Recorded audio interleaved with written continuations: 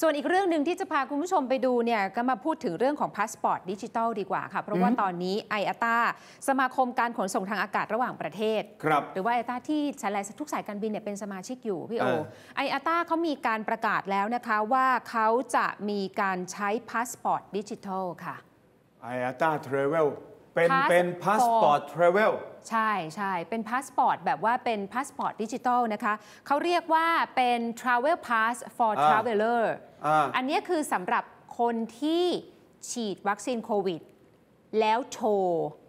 ว่าว่าฉีดแล้ว แล้วก็เดินทางเป็นบัตรอิเล็กทรอนิกส์ได้ ถูกต้อง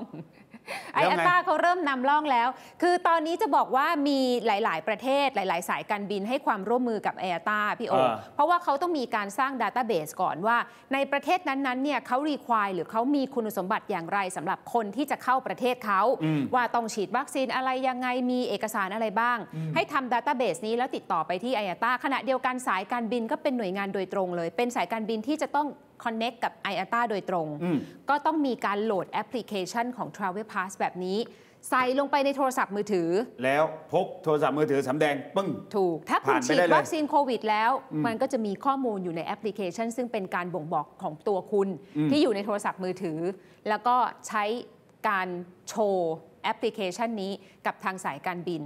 คือเท่านั้นยังไม่พอพี่โอ เพราะว่าอะไร เพราะว่าในแต่ละจุดแต่ละพื้นที่ที่เวลาเป็นจุดมุ่งหมาย พอไปลงเสร็จปุ๊บ ในบางพื้นที่เขาต้องมีการกักตัวหรือว่ามีการ test เพิ่มเติมอืมในแอปพลิเคชันนี้ IATA เขาบอกว่าเขาจะโชว์ให้เลยค่ะว่า ในประเทศนั้นๆ มีจุดไหนมีสถานที่ไหน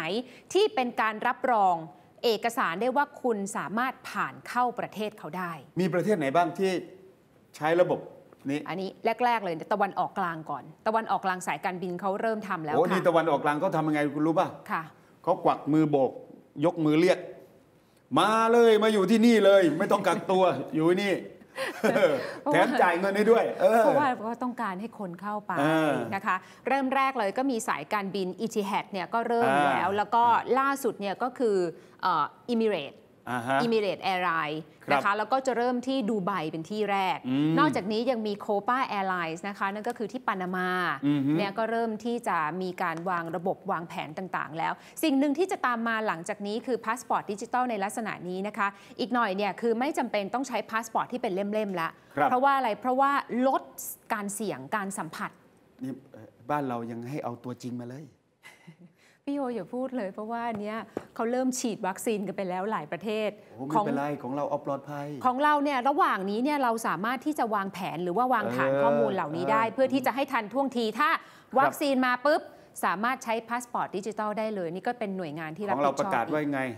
ยังไม่ใช้ เรายังไม่เปิดน่านฟ้า เรายังต้องรอดูว่า ให้คนอื่นเป็นหนูทดลองไปก่อน เดี๋ยวยาวัคซีนมาเราค่อยฉีดกัน ตอนนี้เราต้องกาดไม่ตก ไปไหนก็ต้องแมส ไปไหนก็ต้องล้างมือตรวจอุณหภูมิ เอางี้เราเดี๋ยคววบคุมกันก่อน เดี๋ยวพรุ่งนี้นะพี่โอเดี๋ยวพรุ่งนี้ฟังรู้แล้วพรุ่งนี้จะนำเสนอเรื่องการฉีดวัคซีนในสหรัฐอเมริกามาให้ดูดีกว่า เพราะว่าอะไร เพราะว่าหลังจากที่ไบเดนขึ้นดำรงตำแหน่งอืม ประธานาธิบดีเนี่ยเขามีการฉีดวัคซีนให้กับประชาชนนะพี่โออืมวันละล้านตอนนี้เพิ่มเป็นวันละ 2 ล้านแล้เพราะว เขาเป็นเจ้าของวัคซีนเนี่ยของโลกนี่ก็เดี๋ยวพาไปดูมันวิไม่ธีใช่เมืองแล้วกันไทยเนี่ยต้องมาผลิต แล้วก็ให้เขาไปกำหนดคุณ i t y ว่าเราผลิตขึ้นมาแล้วเนี่ยได้มาตรฐานเขาหรือไม่ ได้มาตรฐานแล้วสุ่มตรวจกับสุ่มฉีดกับคนอีกสักสองละลอกดูว่าเป็นยังไงกับกลุ่มตัวอย่าง แล้วค่อยขยายผล ใจเย็นเย็น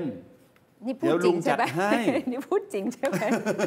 ท่องเที่ยวจะรอไม่ได้ท่องเที่ยวจะตายซะก่อนนะคะ